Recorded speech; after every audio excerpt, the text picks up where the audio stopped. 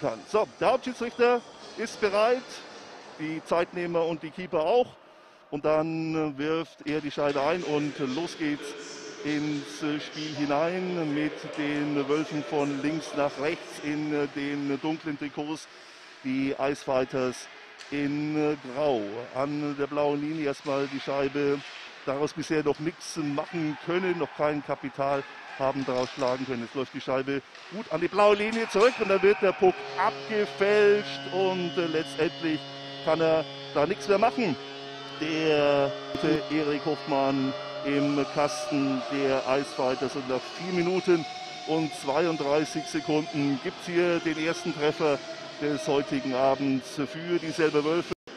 Letztendlich ersten richtig gefährlichen Situation das Tor machen. Netzinger der Torschütze und äh, nur ein paar Sekunden später klingelt schon wieder im Kasten der Leipziger, die da nicht wirklich äh, sortiert bei der Sache waren.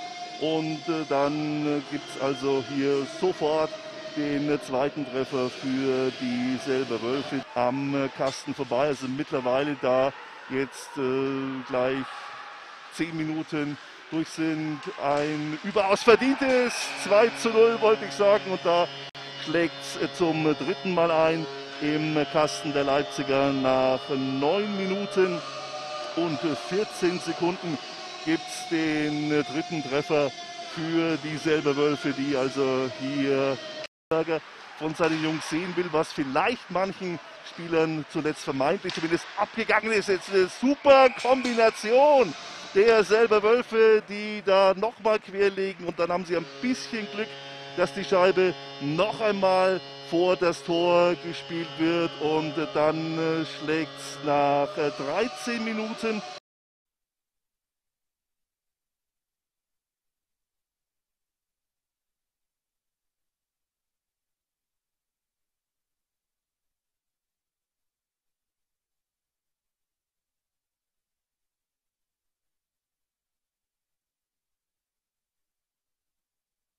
wieder komplett auf dem Eis und viel ist den Wölfen jetzt in diesem Powerplay nicht gelungen. Auf der anderen Seite Möglichkeit und das haben sie gut gemacht nach 10 Minuten und 7 Sekunden. Also der ja, Anschlusstreffer, Ehrentreffer, wie auch immer, das erste Tor, dass es äh, entsprechend weitergeht. Jetzt die Wölfe mit 2 äh, auf 3. Dann ist auf einmal auf der rechten Seite der Spieler völlig frei und da ist das halbe Dutzend voll.